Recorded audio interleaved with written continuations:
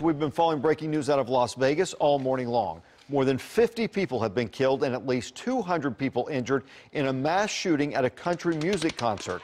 Jason Aldean had taken the stage for the last night of the three-day festival when several rounds went off. Among the dead, two police officers. In the last couple of minutes, we've been informed that an off-duty officer who was hurt is now out of surgery, and we're told that his condition is stable.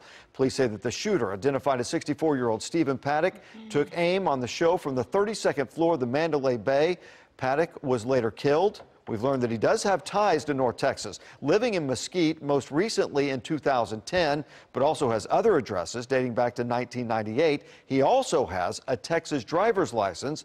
Police say that they found his companion as they tried to determine a motive for this horrific attack.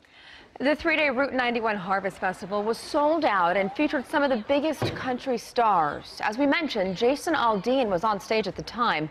This video shows the chaos that ensued, and Aldean ran off the stage. He posted an image to Instagram overnight. You'll see it there with the words, pray for Las Vegas. He commented, tonight has be been beyond horrific. I still don't know what to say, but wanted to let everyone know that me and my crew are safe. My thoughts and prayers go out to everyone involved.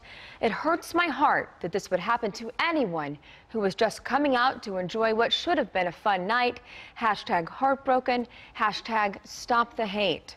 And messages of shock and support are pouring in from other country artists this morning. Chris Young tweeting, spent I don't know how long on the floor of a trailer behind the stage.